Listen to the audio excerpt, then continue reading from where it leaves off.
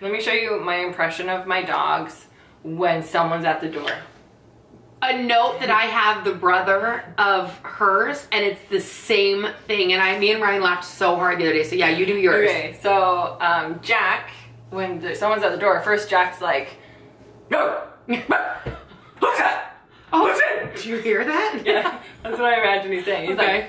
like, stranger, He- I need that. Stranger.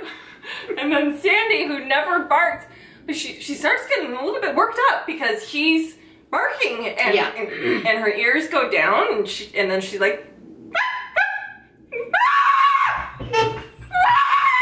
Like the most piercing, loudest screeching you've ever heard. I don't know who it is! Oh, you're scaring me! This is mine. Yoda runs, who is the Screecher's brother, to the window and is like, "Ah!"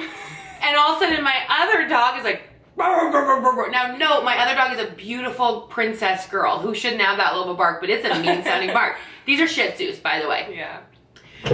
And then Yoda's like! It- it- I'm not even copying her, it's dead serious. So my mom gets to the door the other day and we let them stay at the door and bark and not let her in because I wanted to hear it. And me and Ryan were laughing so hard. It is not even a bark. It is, a, and at one point it's like, ah!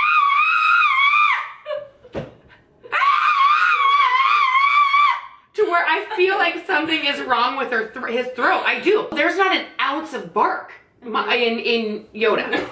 It is. I've never heard a goat. piercing scream until I came here, knocked on your door, and heard. it is like the screaming goats.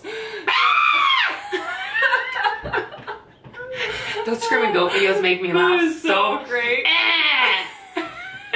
So many of them.